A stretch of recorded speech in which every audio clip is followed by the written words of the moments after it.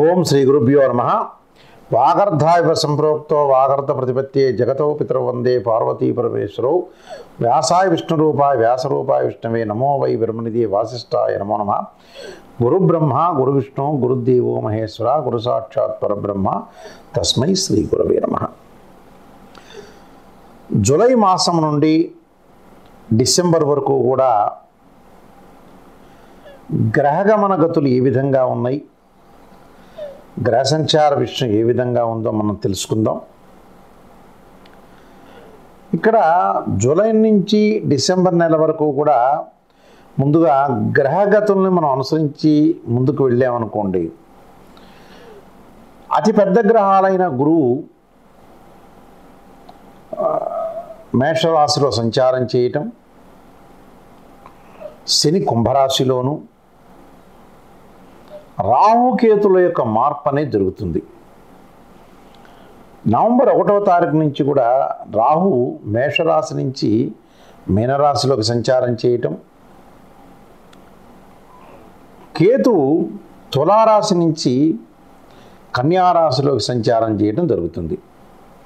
మిగతా గ్రహాలన్నీ కూడా రవి శుక్ర బుధ గ్రహాలు ఒక రాశి నుంచి మరొక రాశికి మారటానికి ముప్పై రోజులు కుజుడు నలభై ఐదు రోజులు చంద్రుడు రెండున్నర రోజుల పాటు మారుతూ ఉంటాడు. మిగతా గ్రహాలన్నీ కూడా ప్రతి నెలలో కూడా వివిధ గ్రహాలు మారుతూ ఉంటాయి. కానీ గురువు అలానే రాహుకేతుల యొక్క ఇవి ఎక్కువగా ఉంటాయి. శని అంటే ఎక్కువ రోజులు ఒక రాశి నుంచి మరొక రాశికి మారటానికి చాలా సమయం పడుతూ ఉంటుంది. అయితే గ్రహాల యొక్క కలయికను మనం చూసి మనకి ఎలా ఉండబోతుంది జీవితం అనేది? అంటే ఈ గ్రహాల వల్ల ఈ ఆరు నెలలు అంటే జూలై నుంచి డిసెంబర్ వరకు కూడా గ్రహాల యొక్క కలయిక అనేది ఏ విధంగా ఉంది? అంటే అంటే అర్ధ సంవత్సర ఫలితాలు అంటారు.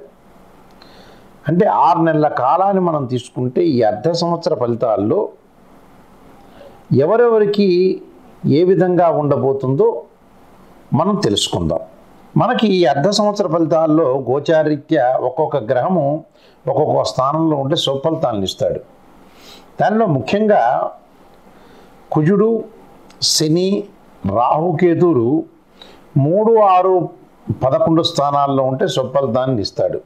మిగతావన్నీ కూడా స్థానాల్లో అసుఫలితాన్ని ఇస్తాడు గోచారీత్యా కూడా.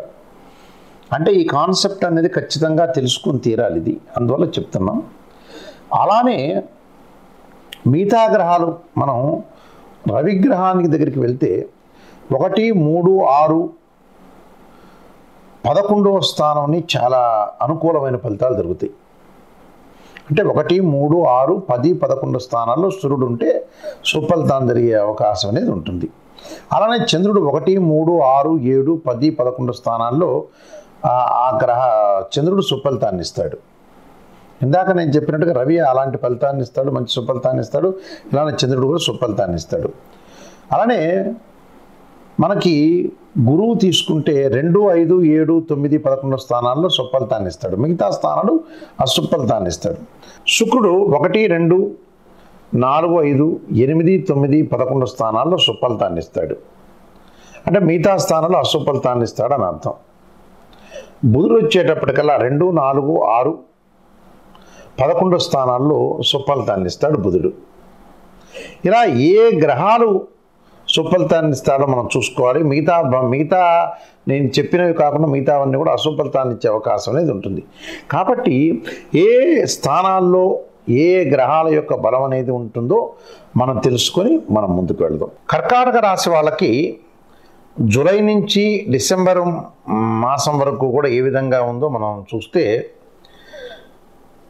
కర్కాటక రాశి వాళ్ళకి మన గ్రహ గమన గతులన్నీ కూడా మనం పరిశీలన చేసామనుకోండి ముఖ్యంగా కొన్ని గ్రహాలు మనం అతిపెద్ద గ్రహాలని మనం ముందుగా తీసుకుంటే కేతు యొక్క సంచారం. అంటే చతుర్థంలో కేతు ఉన్నాడు అలానే దశమంలో గురు రాహుల యొక్క కలయిక అష్టమంలో శని అతిపెద్ద గ్రహాలు.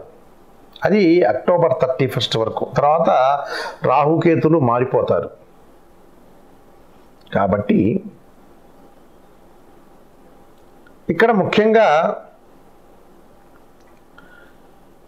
దశమంలో గురురా గురువు ఉండటం వల్ల వృత్తిపరంగా ఇబ్బందులు లేకుండా ఆటంకాలు లేకుండా సజావుగా వృత్తి అనేది సాగుతుంటుంది. అంటే ఏ వృత్తి చేసినా గవర్నమెంట్ ఎంప్లాయ్ కానీ ప్రైవేట్ సెక్టార్లో కానీ లేకపోతే బిజినెస్ పరంగా పీపుల్ కానీ చిరు వ్యాపారులు కానీ బయట రోడ్ల మీద పూలు పండ్లు అమ్ముకునే వ్యక్తులు కూడా అందరూ కూడా దశమ స్థానంలో గురువు వల్ల అనుకూలమైన ఫలితాలు కలుగుతాయి. ఆకస్మికంగా ధనలాభం కలుగుతుంది. ధనం అనేది సంపాదించే అవకాశం అనేది ఉంటుంది.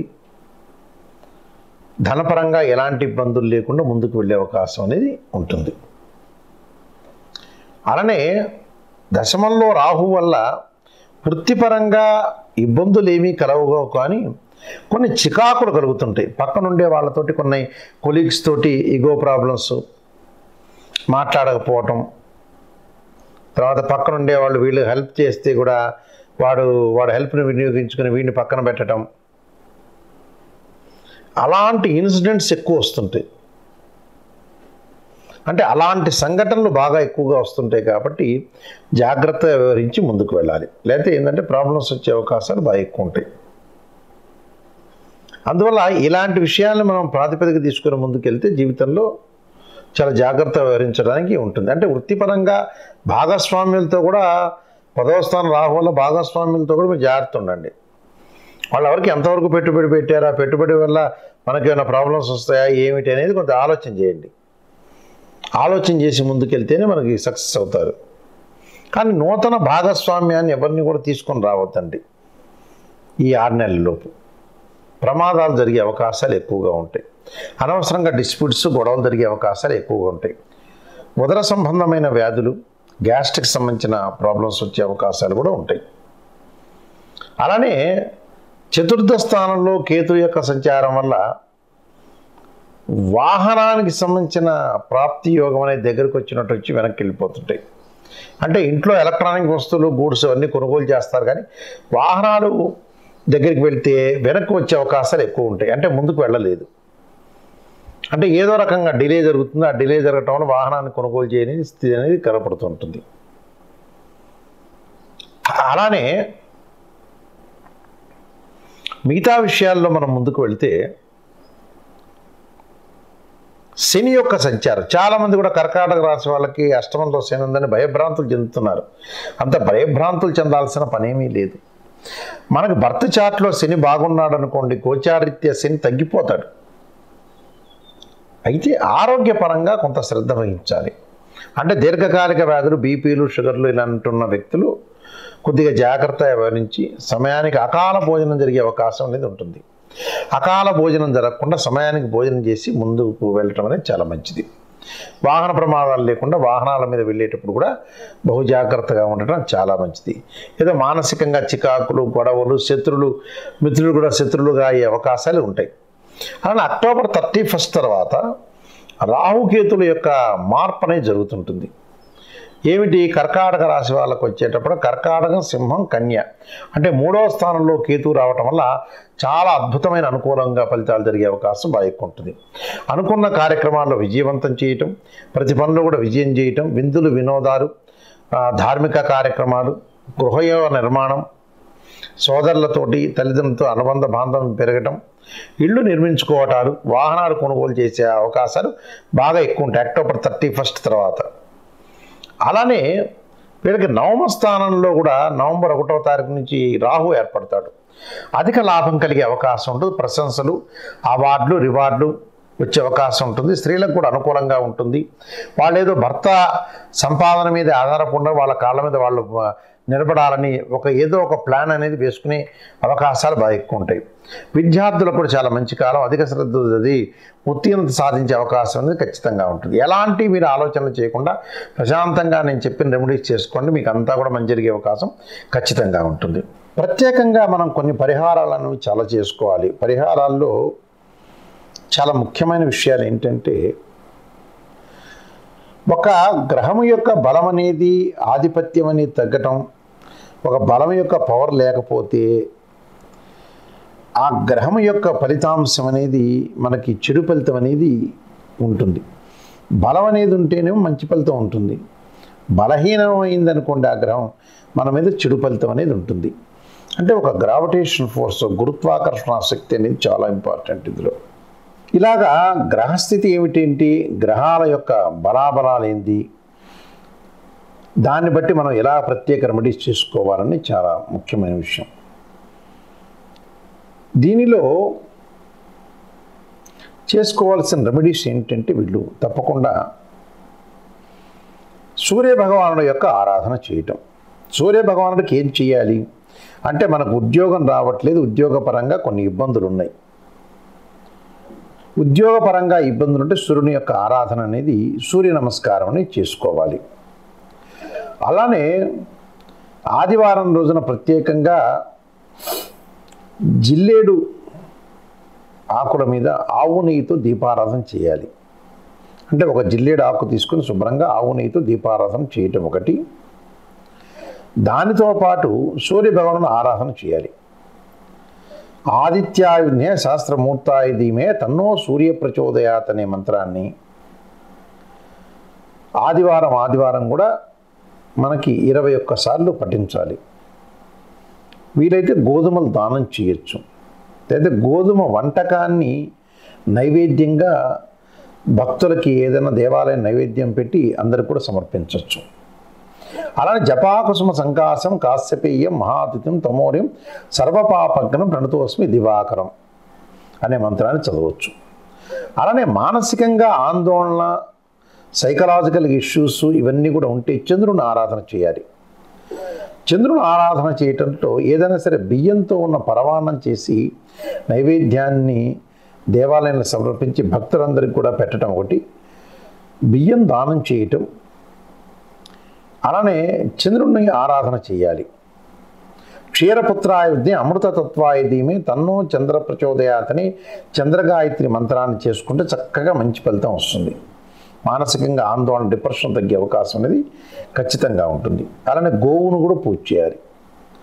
అలానే ప్రమాదాలు కుజదోషాలు యాక్సిడెంట్స్ అనుకూలంగా లేకపోవటం వల్ల కుజుడి ద్వారా అనుకూలంగా లేకపోతే కుజుడిని ఆరాధన చేయాలి. ఎలాగా? ధరణీ గర్భ సంభూతం విద్యుత్ కాంతి సంభ్రమం కుమారశక్తి అస్తంచ మంగళం ప్రణమామ్యం అనే మంత్రాన్ని కందులు దానం చేయటం. అలానే ఏదైనా సరే ఒక మీరు తప్పకుండా ఏం చేయాలంటే అంగారకాగ్నే శక్తి అస్థాయిదిమే తన్నో భౌమ ప్రచోదయాత్ అనే మంత్రాన్ని దానితో పాటు ఎర్రని వస్త్రాన్ని దానం చేయటం. అలానే ఒక కందులు ఒక చోట పోసి కుప్పగా పోసి ఒక పావు కిలో కందులు పోసి దాని మీద ఆవు నెయ్యితో దీపారాధన చేయాలి. ఎక్కడ నవగ్రహాల్లో కుజుడు ఉంటాడు. ఆ కుజుడి దగ్గర కొంత కొద్దిగా కం- కందులు పోసి ఆవునైతే దీపారాధన చేయండి. ఆ దానివల్ల కుజుడి యొక్క దోషం అనేది పోతుంది. అలానే సుబ్రహ్మణ్య స్వామి యొక్క ఆరాధన రాహుకాలంలో దీపం పెట్టడం వల్ల కూడా మంచిది. అలానే వ్యాపారపరంగా బుద్ధిపరంగా బుధుడు బాగలేకపోతే ఇంట్లో విష్ణు సహస్రనామం పారాయణం చేయండి. అలానే విష్ణు సహస్ర పారాయణంతో పాటు విష్ణువుని పండ్ల రసాలతో అభిషేకం అనేది చేయండి. దాంతోపాటు నారాయణాయుధే వాసుదేవాయుధ్యమే తన్నో విష్ణు ప్రచోదయాత్ అని పెట్ట చేయటం ఒకటి. అలానే బియ్యపిండితోటి రెండు ప్రమిదలు చేసి ఆవు నెయ్యి వేసి రెండు ఒత్తులేసి విష్ణుమూర్తికి దీపారాధన చేయండి. దీపారాధనతో పాటు మహావిష్ణుని భక్తి శ్రద్ధలతో కొలవటం వీలైతే ఇంట్లో సత్యనారాయణ స్వామి వ్రతాలు చేసుకోవటం అనేది చాలా మంచిది. అలానే గురువు బాగలేరు ధనకారకుడు గురువు బాల. విద్య పిల్లలకు విద్యార్థులకు కూడా అనుకూలంగా లేదనంటే విద్యార్థులు దక్షిణామూర్తి శ్లోకాన్ని పఠించటం పెద్దవాళ్ళు ధనపరంగా సంతానపరంగా సంతానపరంగానేమో చేయాల్సింది ఏంటంటే సంతాన గోపాలకృష్ణ మంత్రం అనేది చదవటం. సంతానం లేని వాళ్ళు దేవకీ సుత వాసుదేవ గోవింద అనే మంత్రాన్ని చదవటం. ధనపరంగా ఇబ్బందులు కలుగుతూ ఉంటే తప్పకుండా గురువును ఆరాధన చేయాలి. మనకి నవగ్రహాల్లో గురువు మీద పంచామృతాలతోటి పండ్ల రసంతో అలానే సో- మన చెరుకు రసంతో అభిషేకం అనేది చేపించుకోండి. అలానే దేవానాంచ ఋషీనాంచ గురుకాంచన సన్నిభం బుద్ధిమంతం లోకేశం తమ నమామి బృహస్పతి అనే మంత్రాన్ని చదవండి. శ- అలానే శనగపప్పుతో ఏదైనా ధాన్యం అంటే శనగపప్పుతో వంటకం చేసి భక్తులందరికీ దేవాలయం దగ్గర పంచండి. అలానే దత్తాత్రేయ స్వామి యొక్క పాలన దేవాలయం దగ్గర అడుక్కునే వాళ్ళకి ఏదైనా ఆహారము ప్లస్ వస్త్రాన్ని ఇవ్వండి. అలానే శుక్రగ్రహం బాగలేకపోతే శుక్రుడు కలత్రకారకుడు వివాహకారకుడు భృగుపాస్పదాస రుద్రాభిషేకం చేసుకోవటం శుక్ర జపం చేసుకోవటం. అలానే అమ్మవారిని కుంకుమార్చనతో మానసాదేవిని పూజ చేసుకోవటం ఇంటిలో ఆడవాళ్ళు. దానివల్ల బాగుంటుంది. ఏదైనా దేవాలయంలో కళ్యాణం అనేది చేపించటం. అలానే శని ఆరోగ్యపరంగా బాగలేకపోతే ప్రమాదాలు జరుగుతుంటే కష్టాలన్నీ కూడా ఉంటే పనులన్నీ కూడా ఆలస్యం ఉంటే శని భగవాన్ను ఆరాధన చేయాలి నీలాంజన సమాభాసం రవిపుత్రేమాగ్రజం ఛాయామార్తాండ సంభూతం తమ నమామి శనీక్షరం అలానే నల్ల నువ్వులు బెల్లంతో చేసిన వంటకం చేసి భక్తులకు పంచ పంచటం. అలానే దేవాలయంలో ఏదైతే మీరు ముఖ్యంగా ఆ దేవాలయంలో నువ్వు నల్ల నువ్వులు బెల్లాన్ని నైవేద్యంగా పెట్టి భక్తులందరికీ పంచటం ఒకటి.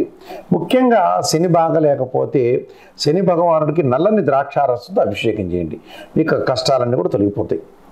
అలానే రాహు యొక్క అనుకూలంగా లేదనుకోండి. అర్ధకాయం మహావీరం చంద్రాదిత్యమర్దనం సింహకాకర్ప సంభూతం తం రాహుం ప్రణమామ్యం. ఈ ఆరు నెలల్లో ప్రత్యేకంగా రెండు జంట సర్పాలను దానం చేయండి రాహుకాలంలో దీపం పెట్టండి. అలానే కేతు కేతు బాగలేకపోతే పలాశ సంకాసం తారకా గ్రామస్థం రౌద్రం రౌద్రాత్మం ఘోరం తమ కేతుం ప్రణమామ్యం అనే మంత్రాన్ని చదండి. ఉలవలతో చేసిన వంటకాన్ని మీరు భక్తులందరికీ కూడా పంచిపెట్టడం ఒకటి. అలానే కే హోమం చేసుకోవడం అంటే కేతువు సంబంధించిన హోమం చేసుకోవటం నాలుగు జంట సర్పాలను దానం చేయటం సుబ్రహ్మణ్య స్వామిని అభిషేకం చేసుకోవటం వల్ల మీకు మంచి జరిగే అవకాశం ఖచ్చితంగా ఉంటుంది.